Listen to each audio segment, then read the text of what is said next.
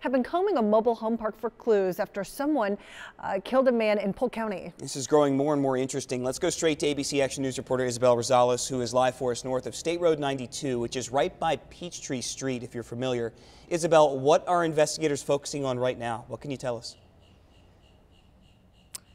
James, the real focus here right now is on surveillance cameras. They're hoping that somebody caught this person in the act. We do know that one neighbor, at least one neighbor, has already handed his own footage.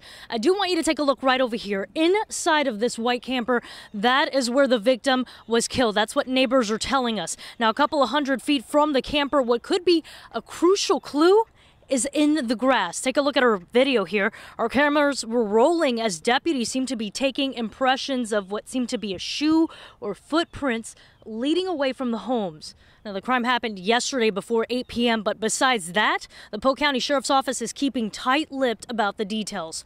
When it comes to the crime, neighbor after neighbor told me they would not speak on camera, saying they are too fearful they could be targeted.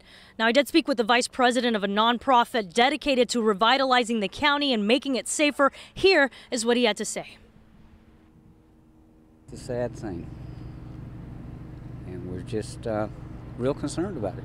I wish very much that it could be cleaned up. It's, it's just uh, very scary.